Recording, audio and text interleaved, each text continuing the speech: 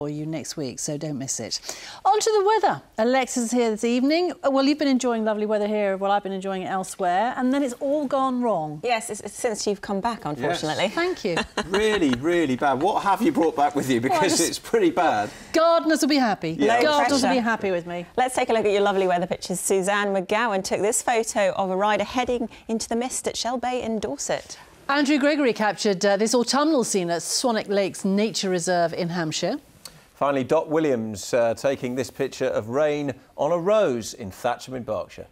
So complete contrast from last week. Let's take a look at the weather for the week ahead because we had some persistent rain today and that rain will stay with us during the first part of tonight and through the first part of the week really we'll have rain or showers at times the risk of thunder tomorrow but drier and brighter with high pressure building during the middle part of the week. So overnight tonight some heavy rain at first and that's up until around midnight when the rain will clear away but there is still a Met Office warning up until 10 p.m. this evening we could still have localised flooding from heavy heavy rain. Still the risk of the odd shower, a very mild night to come with hill mist in places, lows of 15 to 16 Celsius. And tomorrow after a dry start, the showers will start rolling in from the south. We could have rumbles of thunder and lightning as well. Temperatures very similar to today. There will be some drier interludes in between the two bands of showers moving up from the south.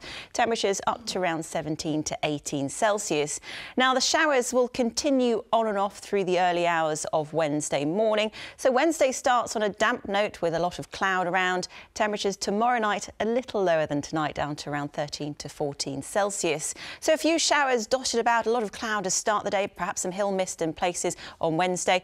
Drying out and improving throughout the course of the day with some sunny spells. Still a fair amount of cloud for much of the region and highs of 13 to 14 Celsius. A cooler feeling day, a breezy day, the breeze coming in from the northwest, drawing in that cooler air.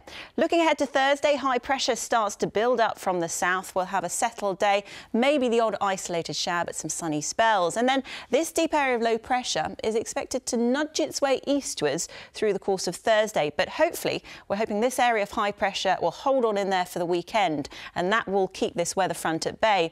A mainly dry day on Friday, some sunny spells to be had. The wind's a lot lighter than Wednesday. And looking ahead to the weekend, at the moment it should be mainly dry. There will be some sunny spells, and it will feel a little bit cooler. Sally. Thanks, Alexis. Uh, be with us tomorrow night. We're going to have our colouring books and crayons out. Find out what Ooh. the story is. Half past six, BBC One. Thanks for watching this evening, though. Have a good evening. Bye-bye. Good night. Good night.